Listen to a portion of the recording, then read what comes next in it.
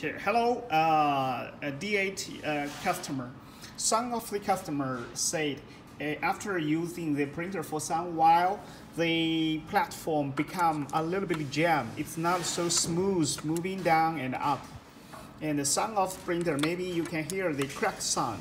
So the easiest way is uh, there are eight bolt lock, locking bolt.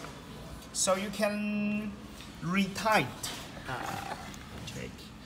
You can lose uh, every um, eight, eight belts by half turn. Okay.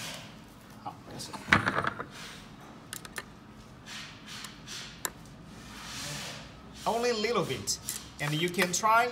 So if it's very tight, too tight, so two of the um, bearing will be too tight with a low tolerance, will, which will jam. So when we tighten it and then move half turn back, so there will be little space between the bearing and uh, our machining parts. This will allow, provide the tolerance for the, uh, for the moving, during moving. So, okay, you try. So it will become smoother. Uh, if you are using the D8, uh, if you have, you can feel the jam on the Z-axis. So you need to move the platform up and down. This is, uh, we, we, we are adjusting in our factory. So we will show you how to adjust the two rails to make sure they are parallel to each other. So first, we will lose this one, lose the 8 bolt.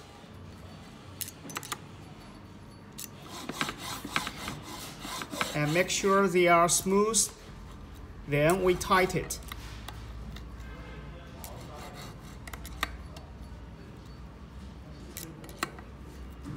Uh, make sure it's uh, not exactly very tight. This will jam the bearing. So when you uh, push, uh, turn your your Allen key tight, and you you need to turn half half turn back, so it will be still have some space.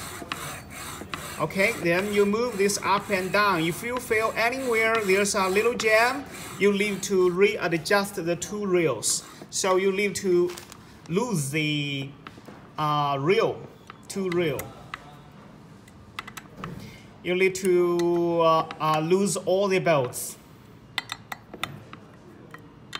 It, it, it cannot be too loose, just uh, two or three turns. So, so this rail can move a little bit. And then you try to move the uh, platform up and down for several times so the two rail will realign by this uh, bearing. After that, you tight, you tight two of the belts, then you move again. Make sure they are tight. Then you relock the second group two bolts. Try to move this up and down, and then the next two bolts, and then you, you move up and down